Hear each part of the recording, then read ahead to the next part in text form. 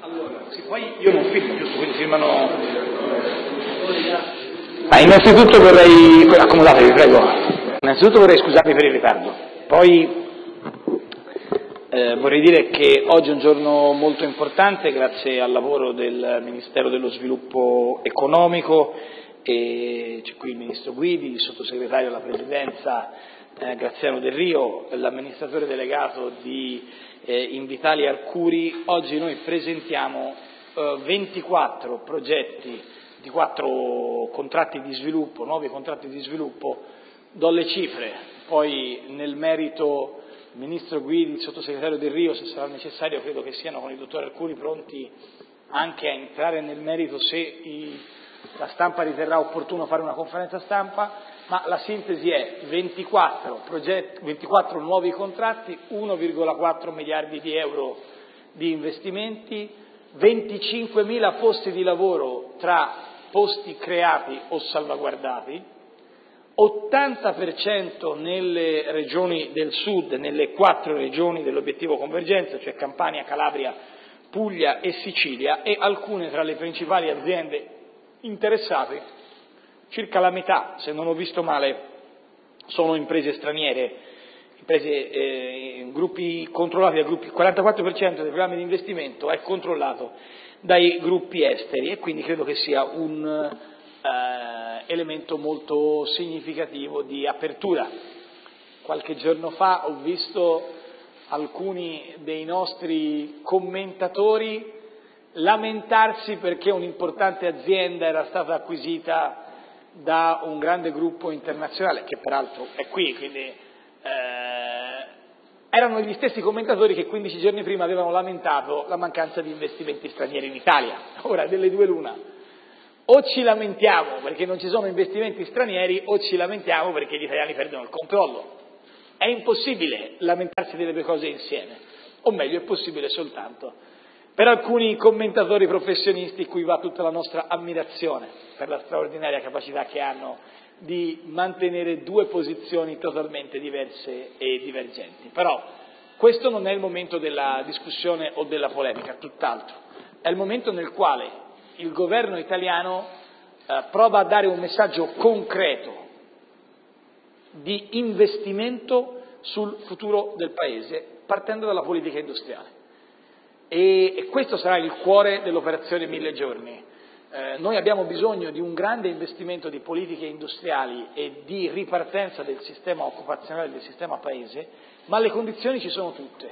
Io con eh, la serenità, la determinazione, l'umiltà, ma anche il coraggio di chi sa che non ci possiamo fermare, dico che l'Italia ha le condizioni per poter essere alla fine di questi mille giorni davvero in condizioni di guidare la ripresa economica in Europa e non soltanto di essere il fanalino di coda. Allora, eh, bando alle ciance, credo che sia arrivato il momento di chiedere al dottor Arcuri di iniziare le firme, prima però lasciatemi dire una sintesi mh, estrema. Oggi da questo tavolo partono 1, un miliardo, quasi un miliardo e mezzo di investimenti, 25.000 persone in carne e ossa sono toccate da questi strumenti di sostegno di politica industriale, permettetemi di dire che qui si gioca la credibilità della politica, perché eh, le immagini alle quali stiamo assistendo in queste ore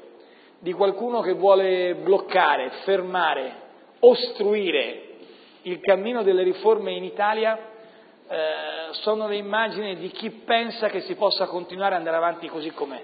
Noi abbiamo preso il 41% per poter cambiare finalmente l'Italia e per cambiare l'Italia occorre fare le riforme e le faremo, ma occorre anche e soprattutto creare le condizioni per i posti di lavoro, perché le famiglie vedono questo. Le riforme servono a creare i posti di lavoro, i contratti di sviluppo servono a creare posti di lavoro, un clima più familiare per le aziende e più semplice per le aziende, meno burocrazia, giustizia civile più veloce, fisco più semplice, vanno in questa direzione.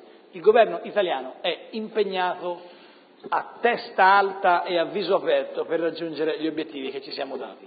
Grazie dunque a Federica Guidi, grazie a Graziano Del Rio, grazie a Domenico Arcuri, a cui immediatamente cederei, se eh, sono autorizzato, il compito di sedersi qua in, eh, insieme alle aziende e via via di firmare questi contratti che ricordo valgono quasi un miliardo e mezzo di euro con risorse pubbliche di 700 milioni circa, o 7-800.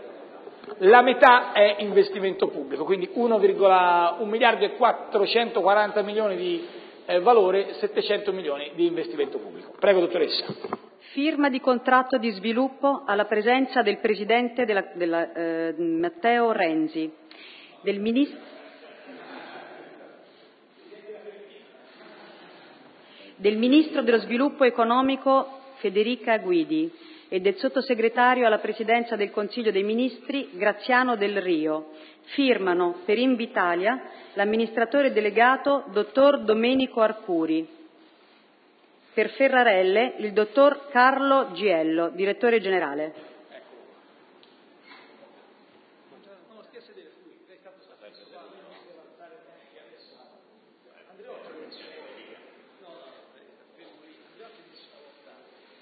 Sì, basta, basta, grazie. Grazie. Quanto vale questo? Questo di Israele ha fatto 34 milioni di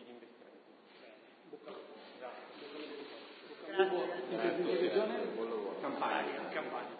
Quindi sono 34 milioni di euro in Campania. Poi. Firma per Sanofi il dottor Arturo Antonio Zanni, presidente e amministratore delegato.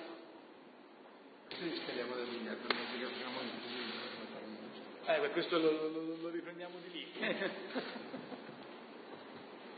Vorrebbero inserircelo in un altro pacchetto, quello su Falmindustria, ma non vale, quindi questo è a parte. Falmindustria deve fare comunque di più, va bene?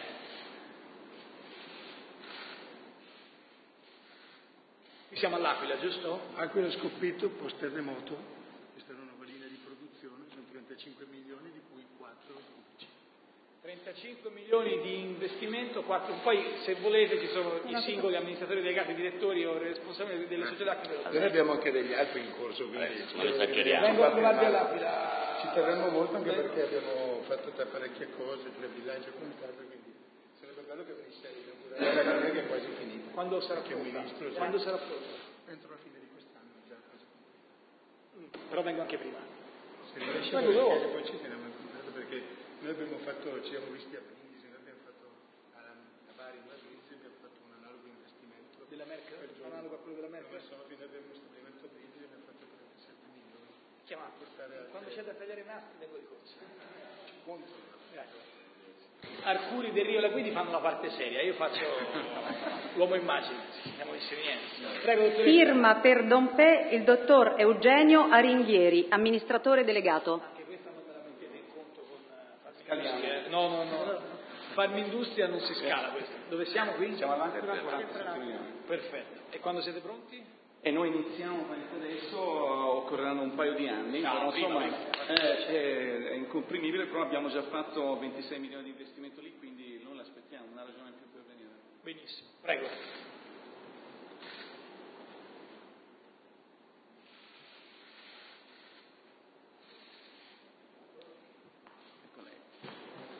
Grazie mille. Grazie di nuovo. Ci vediamo all'Aquila. Benissimo, grazie, una promessa. Firma per Eural Energy l'ingegner Vincenzo Rosino, amministratore delegato. Poi dove siamo qui? Sulcis. Vabbè, altro, prego, Sulcis. Quanto vale questo?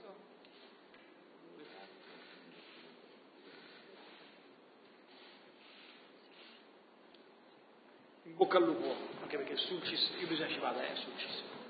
Ma Aspettiamo, perché sono già stato una volta, sono riuscito a uscire vivo e non era banale. Senza- con eh, un ricordo abbastanza vivo, diciamo, della contestazione. Ed è assolutamente una soppressione molto seria. Grazie dottore, buon lavoro. Mi sembrava che fosse. Firma per Ponti. Aiuto. La dottoressa Lara Ponti, Organization and Human Resource Development Manager.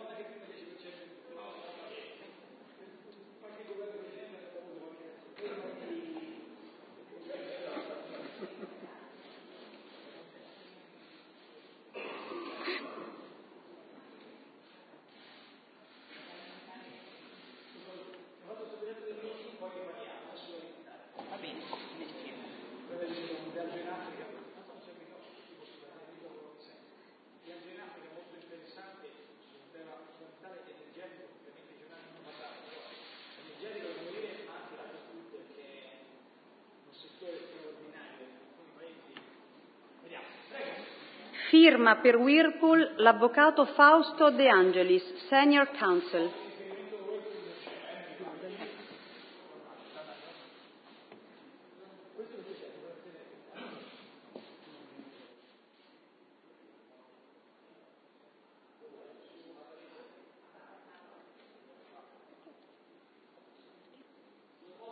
Senatrice Annata, detta così non rende l'idea.